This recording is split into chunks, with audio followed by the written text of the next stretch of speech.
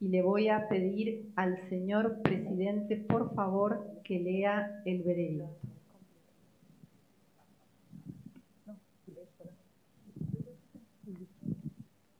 Nosotros, el jurado, encontramos culpable por unanimidad al acusado Gil Pérez del delito de homicidio agravado por el vínculo conforme al requerimiento de la acusación Nosotros, el jurado, encontramos culpable por unanimidad al acusado Gil Pérez del delito de homicidio simple agravado por el empleo de arma de fuego conforme al requerimiento de la acusación. Gracias, señor presidente. Tome asiento.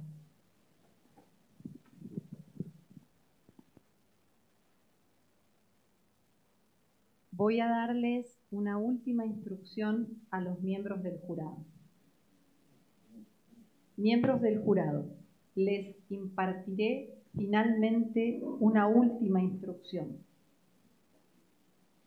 que es tanto o más trascendente que las anteriores y que tiene que ver con el absoluto secreto que ustedes han jurado guardar sobre vuestras deliberaciones.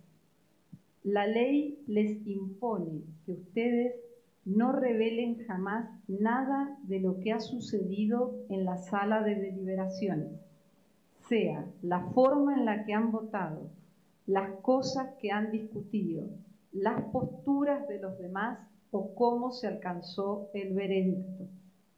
Les pido con toda cortesía, pero también con mucha firmeza, que no den a la prensa ni a nadie, inclusive sus más allegados, detalle alguno de las deliberaciones o de cómo llegaron a su veredicto. Si algún periodista conocido o tercero los presiona o les sugiere algo en ese sentido, no respondan y exíjanle que se retire, ya que así lo ordena la ley. Si insisten, pónganlo en mi inmediato conocimiento en cualquier momento. La regla del secreto del jurado es uno de los más antiguos mecanismos diseñados para proteger al juicio por jurados.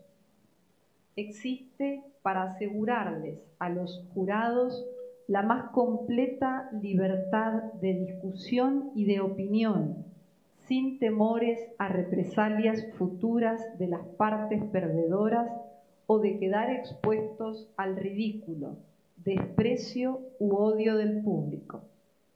Desde donde ustedes están sentados, pueden ver la baranda que los separa a ustedes, los jurados, del resto de nosotros y del público. Esa baranda es el símbolo de la privacidad que los jurados tradicionalmente se acordaron entre ellos.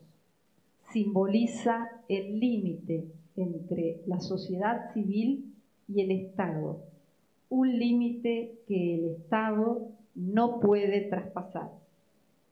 Dicha privacidad constituye un derecho adquirido del jurado que se ejercita respecto de todos nosotros, de todos los demás.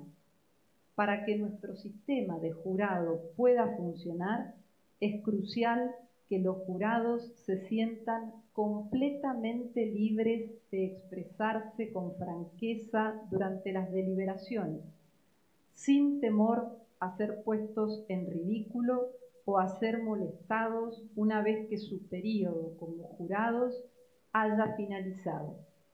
Los jurados salientes deben estar en condiciones de reasumir sus vidas privadas sin deberle ninguna explicación o justificación a nadie.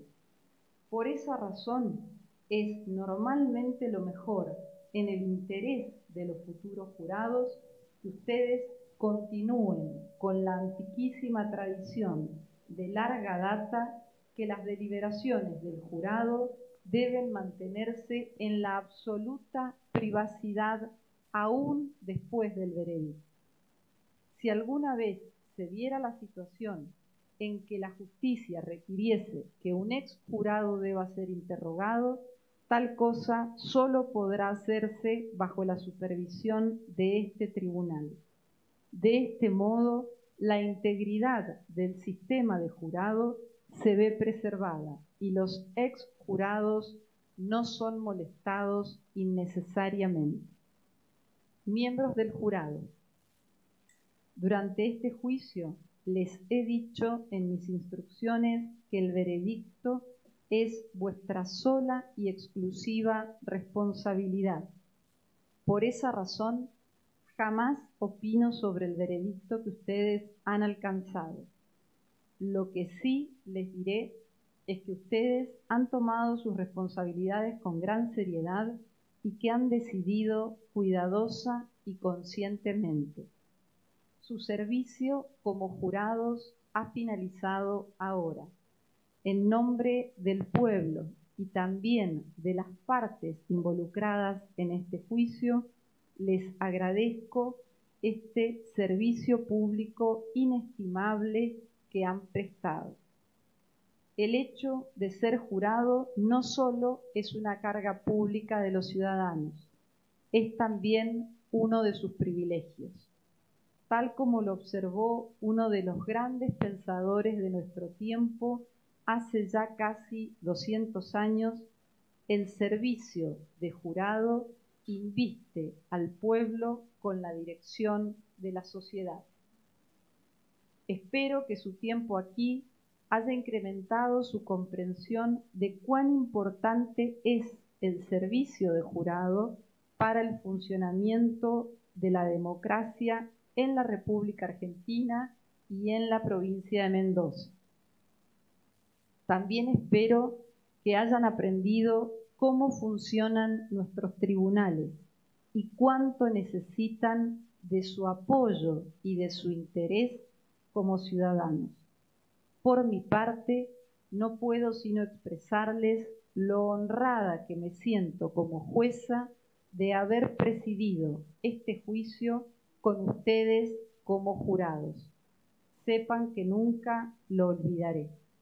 Ahora el oficial de custodia los escoltará de nuevo hasta la oficina de jurados, donde yo en unos minutos voy a pasar a saludarlos.